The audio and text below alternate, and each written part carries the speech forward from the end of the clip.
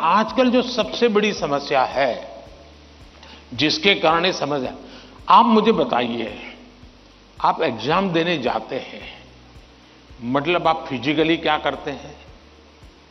आप physically pen हाथ में पकड़ करके लिखते हैं।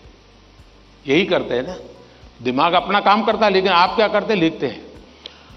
आज के युग में आईपैड के कारण कंप्यूटर के कारण मोबाइल के कारण, मेरी लिखने की आदत धीरे धीरे कम हो गई है। जबकि एग्ज़ाम में लिखना होता है, इसका मतलब हुआ कि मुझे अगर एग्ज़ाम के लिए तैयार करना है तो मुझे अपने आप को लिखने के लिए भी तैयार करना है। आजकल बहुत कम लोग हैं जिनको लिखने की आदत है।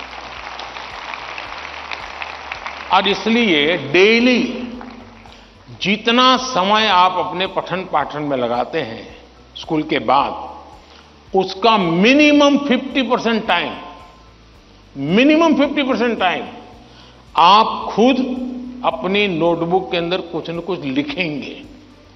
हो सके तो उस विषय पर लिखेंगे। और तीन बार, चार बार खुद का लिखा हुआ पढ़ेंगे और खुद का लिखा हुआ करेक्ट करेंगे। तो आपका जो इंप्रूवमेंट होगा, किसी की मदद बिना इतना बढ़िया हो जाएगा कि आपको बाद में लिखने की आदत हो जाएगी। तो कितने पेज पे लिखना, इतना लिखने में कितना समय जाता है, ये आपकी मास्टरी हो जाएगी। कभी कभी मन से विषय आपको, लगता है ये तो मुझे आता है। जैसे आप मान लीजिए कोई बड़ा प्रसिद्ध कोई गाना सुन रहे हैं। गाना बज रहा है तो आपको लगता है ये गाना तो मुझे आता है, क्योंकि आपने बहुत बार सुना है। लेकिन एक बार गाना बन करके जरा कागज़ पे लिखो ना, वो गाना आता है क्या? तो पता चलेगा, नहीं यार, सुनते समय जो मेरा कॉन्फिडेंस था, मुझे अच्छा लगता था और आता था, हकीकत में मुझे आता नहीं था। मुझे वहाँ से प्रॉम्प्टिंग होती थी, इसलिए मुझे वो लाइन याद आ जाती थी। और उसमें भी परफेक्ट शब्द के संबंध में जब बात आएगी तो मैं पीछे रह जाऊँगा। मेरी आज की पीढ़ी के साथियों से बहुत मेरा आग्रह है कि कृपा करके आपकी एग्ज़ाम में एक बड़ी चैलेंज होती है लिखना। कितना याद रहा, सही रहा, गलत रहा, सही लिखते हैं, गलत लिखते तो वो तो बात का विषय है। आप अपना ध्यान प्रैक्टिस में इस पर कीजिए। अगर ऐसी कुछ चीज़ों पर अगर आप ध्यान केंद्रित करेंगे, मुझे पक्का विश्वास है कि एग्ज़ाम हॉल में बैठने के बाद जो अनकंफर्ट या प्रेशर फील करते हैं, वो आपको लगेगा ही नहीं, क्योंकि आप आदि हैं। अगर आपको तैरना आता है तो पानी में जाने से डर नहीं लगता है आपको, क्योंकि आप तैरना जानते हैं। आपने किताबों में तैरना ऐसे होता है, और आप सोचते हैं हाँ मैं तो पढ़ा था, भाई, हाथ पहले ऐसे करते, फिर दूसरा हाथ, फिर तीसरा हाथ, फिर चौथा हाथ।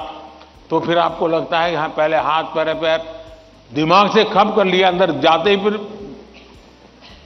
मुसीबत शुरू हो जाती है। लेकिन जिसने पानी में ही प्रैक्टिस शुरू कर दी, उसको कितना ही गहरा पानी क्यों हो, उसको भरोसा होता है, मैं पार कर जाऊँगा। और इसलिए प्रैक्टिस बहुत आवश्यक है, लिखने की प्रैक्टिस बहुत आवश्यक है। और लिखना जितना होगा, शार्पनेस ज़्यादा आएगी। आपके विचारों में भी शार्पनेस आएगी। और अपनी लिखी हुई चीज़ को तीन बार, चार बार पढ़ के खुद करेक्ट कीजिए। जितना ज़्यादा खुद करेक्ट करोगे, आपकी उस पर ग्रिप बहुत ज़्यादा आएगी। तो आपको अंदर बैठ करके कोई प्रॉब्लम नहीं होगा। दूसरा अगल बगल में वो बड़ी स्पीड से लिख रहा है। मैं तो तीसरे क्वेश्चन पे अड़ा हुआ हूँ, वो तो सातवें पर चला गया। दिमाग इसमें मत खपाइए बाबा। वो सात में पहुँचे नौ में पहुँचे, करे, न करे, वो पता नहीं, वो सिनेमा की स्टोरी लिखता होगा। तुम अपने पर भरोसा करो। तुम अपने पर भरोसा करो। अगल बगल में कौन क्या करता है, छोड़ो। जितना ज़्यादा अपने आप पर फोकस करोगे, उतना ही ज़्यादा आपका क्वेश्चन पेपर पर फोकस होगा। जितना ज़्यादा क्वेश्चन पेपर पर फोकस होगा, इतना ही आपके आंसर के एक एक शब्द पर हो जाएगा और अल्टीमेटली आपको परिणाम उचित मिल जाएगा।